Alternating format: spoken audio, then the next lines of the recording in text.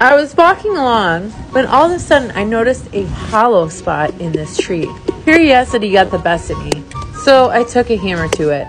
You will never ever guess what I found. Absolutely nothing. I hurt this poor tree for nothing.